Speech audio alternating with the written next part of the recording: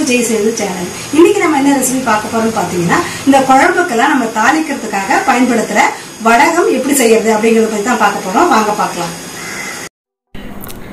இப்போ வந்து நான் ஒரு பெரிய வெங்காயம் ஒரு மூணு கிலோ வெங்காயம் வந்து இந்த மாதிரி நல்ல பொடியாக இந்த மாதிரி நறுக்கி எடுத்து வச்சுருக்கேன். வடகத்துக்கு வந்து வெங்காயம் நல்ல பொடியாக சின்ன சின்ன சைஸில் இந்த மாதிரி நறுக்கி எடுத்துக்கோங்க. இப்போ இந்த மூணு கிலோ வெங்காயத்துக்கு அளவு பார்த்தீங்கன்னா நூற்றி ஐம்பது கிராம் இந்த மாதிரி உடைச்ச உளுந்து எடுத்துக்கோங்க. முழு உளுந்தாக தான் நீங்கள் மிக்சியில் ஒரு ஓட்டு ஓட்டி எடுத்துக்கலாம். அப்புறம் ஒரு நூற்றி ஐம்பது கிராம் கடுகு எடுத்துக்கலாம். ஒரு நூறு கிராம் சீரகம் எடுத்துக்கோங்க.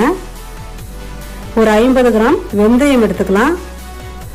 ஒரு நூறு கிராம் பூண்டு இந்த மாதிரி தோலோடவே உரிச்சு எடுத்து வச்சுக்கோங்க. ஒரு ஐம்பது கிராம் கல்லுப்பு. இது ஒரு கைப்பிடி அளவுக்கு இருக்கும். ஒரு டேபிள் ஸ்பூன் மஞ்சள் தூள் எடுத்துக்கலாம். ஒரு ஸ்பூன் அளவுக்கு பெருங்காயத்தூள் எடுத்துக்கோங்க. ஒரு கைப்பிடி அளவுக்கு கருவேப்பிலையை வந்து ஃபைனாக சாப் பண்ணி எடுத்து வச்சுருக்கேன்.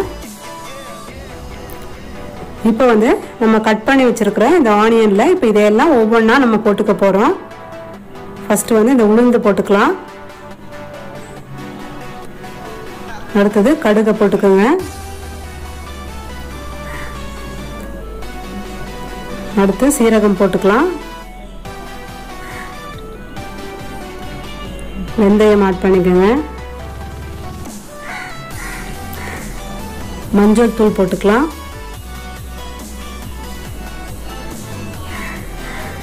பெருங்காயத்தூள் போட்டுக்கோங்க. கருவேப்பிலை. அடுத்து உப்பு. இந்த உப்பு மஞ்சள் தூள் இதெல்லாம் போடுறதுனால நம்ம வந்து ஒரு வருஷம் வச்சுருந்தா கூட இந்த வடகம் வந்து உங்களுக்கு கெட்டே போகாது நல்லா இருக்கும். இப்போ கடைசியாக வந்து இந்த நூறு கிராம் பூண்டை வந்து நம்ம மிக்சியில் ஒரு ஓட்டு ஓட்டி இந்த மாதிரி அரைச்சிட்டு இதை மிக்ஸ் பண்ணிக்கோங்க. அப்போ தான் உங்களுக்கு உருண்டை பிடிக்கிறதுக்கு ஈஸியாக இருக்கும். இப்போ இந்த பூண்டையும் இதில் போட்டாச்சு. இப்போ இந்த வடகம் வந்து நம்ம என்னைக்கு செய்கிறோமோ அன்னைக்கு வந்து இதை நம்ம வெயிலில் காய வைக்கக்கூடாது. இதை வந்து நல்லா இந்த மாதிரி மிக்ஸ் பண்ணிவிட்டு அப்படியே ஒரு தட்டு போட்டு அன்னைக்கு நைட்டு ஃபுல்லாக அப்படியே வச்சிடலாம் இதை. இப்போ நம்ம போட்ட எல்லா பொருளோடு சேர்த்து இந்த மாதிரி நல்லா கையில் வச்சு கையில் கலரி வச்சுடுங்க. மறுநாள் காலையில் பார்த்தீங்கன்னா இந்த வெங்காயத்துலேருந்து உங்களுக்கு தண்ணி விட்டுருக்கும். ப்ளஸ் இந்த வெங்காயமும் உங்களுக்கு நல்லா வதங்கி இருக்கும். இந்த மாதிரி நல்லா மிக்ஸ் பண்ணிவிட்டு ஒரு தட்டு போட்டு அப்படியே வச்சிடலாம்.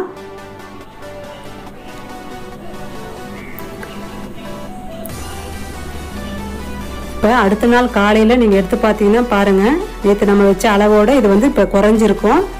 நல்லா வந்து இப்போ கீழுக்காக போயிருக்கு பாருங்கள் வெங்காயம் எல்லாம். நல்லா வதங்கியும் இருக்குது இப்போ இதை கையில் நல்லா இந்த மாதிரி பிசைஞ்சு விட்டுக்கலாம்.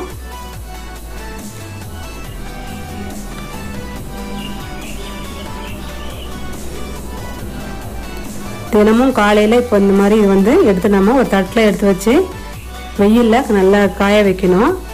இப்போ இது வந்து இந்த வெங்காயத்தில் இருக்கிற தண்ணியெல்லாம் நல்லா இருந்து வர அளவுக்கு இந்த மாதிரி நல்லா பிழிஞ்சு எடுத்துக்கோங்க. இந்த மாதிரி ஒட்டை பிழிஞ்சு எடுத்துக்கணும். ஒரு தட்டில் இந்த தண்ணியை தனியாக எடுத்துக்கோங்க.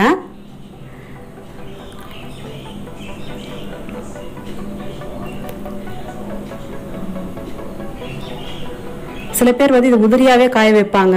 இப்போ நான் ஏன் இந்த மாதிரி உருண்டையாக பிடிச்சி காய வைக்கிறேன்னு பார்த்தீங்கன்னா இதில் இருக்கிற ஸ்மெல் வந்து உங்களுக்கு இந்த வாசனை மனம் வந்து போகாமல் இருக்கும். இந்த மாதிரி உருண்டையாக நம்ம பிடிச்சி வைக்கும்போது இந்த மாதிரி ஒவ்வொரு உருண்டையாக பிடிச்சி வச்சிடுங்க.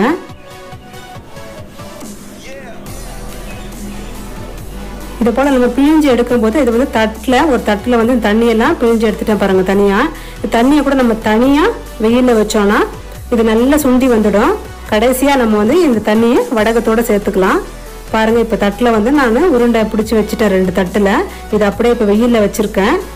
இந்த மாதிரி ப்ராசஸ் வந்து ரெண்டு நாளைக்கு நம்ம வைக்கணும். இந்த மாதிரி காலையில் உருண்டை பிடிச்சி வச்சுட்டு ஈவினிங் வந்து எடுத்து வைக்கும் போது இது உதிரியாக நம்ம எடுத்து பாத்திரத்தில் வச்சிடலாம். பாருங்க அன்னைக்கு ஈவினிங் இந்த மாதிரி உதிரியாக எடுத்து வச்சுட்டேன். இது போல் ரெண்டு நாள் பண்ணுங்க. காலையில் உருண்டை பிடிச்சி எடுத்து வச்சுட்டு ஈவினிங் வந்து இந்த மாதிரி உதிரியாகவே நம்ம எடுத்து வச்சிடலாம். அது அந்த அளவுக்கு பிடிப்படாது உங்களுக்கு ரெண்டு நாளைக்கு. இப்போ ரெண்டு நாள் காஞ்சதில் வடகம் பார்த்தீங்கன்னா உங்களுக்கு இந்த ஸ்டேஜில் இருக்கும்.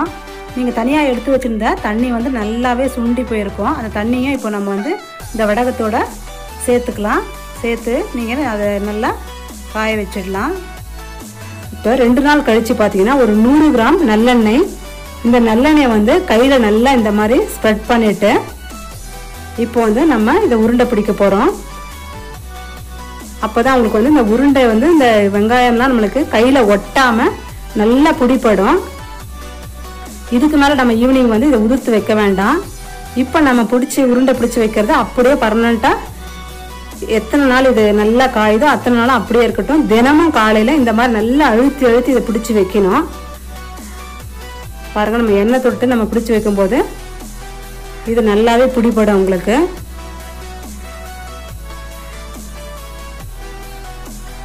இதை வந்து தினமும் எடுத்து எடுத்து காலையில் இந்த மாதிரி வெயிலில் நல்லா வைக்கணும். இந்த வடகத்துடைய ப்ராசஸ் பார்த்தீங்கன்னா இருபத்தி ஒரு நாள் நல்ல வெயிலில் காயணும் அப்படின்னு சொல்லுவாங்க. ஆனால் நம்மளுக்கு இப்போ இருக்கிற வெயிலுக்கு பார்த்தீங்கன்னா ஒரு ஃபிஃப்டீன் டேஸ்லேயே எனக்கு வந்து நல்லா காஞ்சிடுச்சு இந்த வடகம் நல்லா காஞ்சிருச்சு அப்படிங்கிறது நம்மளுக்கு எப்படி தெரியாதுன்னு பார்த்தீங்கன்னா ஒரு உருண்டை எடுத்து நம்ம வந்து ஓப்பன் பண்ணி பார்க்கணும். உள்ளே வந்து ஈரம் இல்லாமல் நல்லா காஞ்சிருக்கா அப்படிங்கிறத நம்ம பார்த்தாலே தெரிஞ்சிடும் அது நல்லா காஞ்சிருக்கு அப்படின்றது. இப்போ பாருங்க நான் ஒரு உருண்டை எடுத்து உங்களுக்கு ஓப்பன் பண்ணி காட்டுறேன்.